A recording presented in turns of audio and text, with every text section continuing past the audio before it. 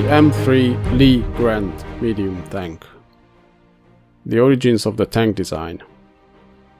The US Army was lagging behind in tank design and numbers when the war broke out in Europe in 1939.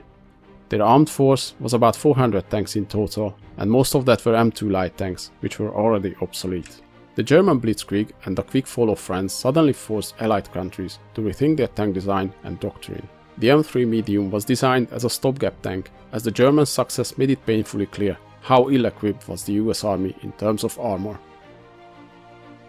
Design and development The M3's design started in July 1940, and the first prototype was completed in March 1941. It was largely based on the T5E2 prototype, which was basically a larger M2 tank equipped with a 75mm gun in a sponson. By 1940, the M4 Sherman design was well underway and planned for production, but many of its features, the turret for example, were far from ready and the US forces needed a medium tank, which they can field quickly and has better armor and armament than the M2 light tanks. The T5E2 prototype design was chosen as a base for the stopgap model, as they could reuse many parts from the M2 tanks with minimal modifications and it was already designed to carry the 75mm gun.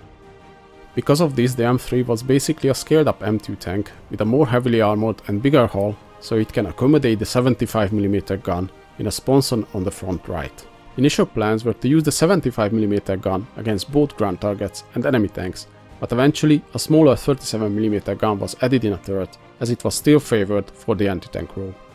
Almost the whole of the suspension and track system was used from the M2 model with some modifications for easier production. The design quickly entered production as both the US Army and the United Kingdom was in need of new medium tanks, the British, after losing most of their equipment in France, initially asked the US to manufacture British designed tanks for them, but that was refused, and they were offered the M3 instead, which they weren't keen on but accepted it after asking for some modifications, but more on that a bit later. Originally, the M3 had 7-man crew, driver, commander, gunner, loader, upper gunner, machine gunner and radio operator. Later this was reduced to 6 and even 5 men. Armament 75mm main gun in the hull mounted on a sponson, 37mm gun in a fully rotating turret, 2, 3, sometimes even 4 30 caliber machine guns.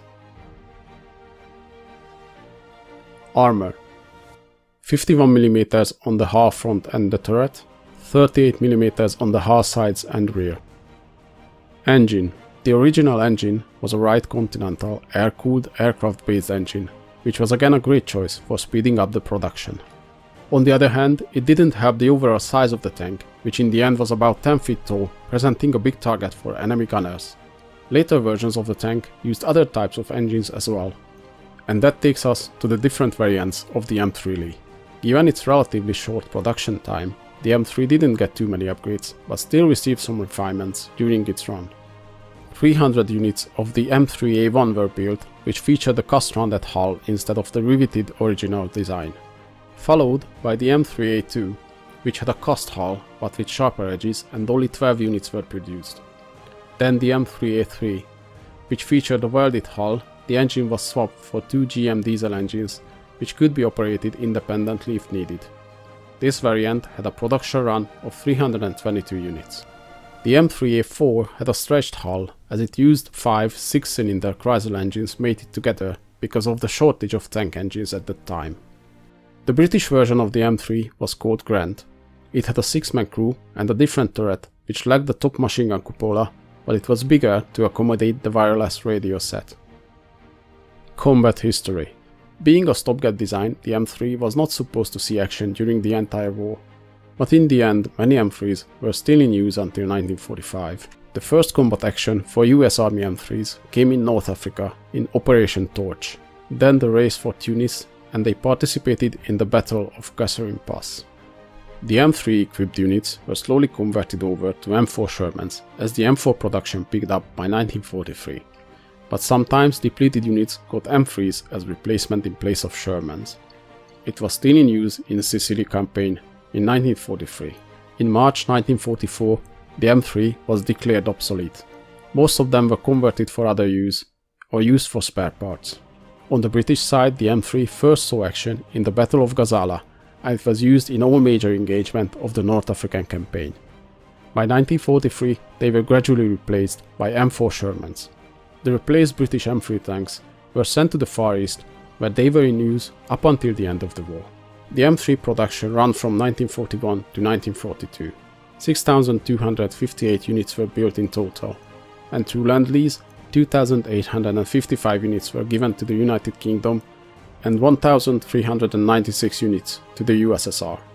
Other variants of the M3 chassis M7 Priest self-propelled howitzer, M31 recovery vehicle, gun motor carriage M12, Sexton Mark I self-propelled gun, Kangaroo personal carrier.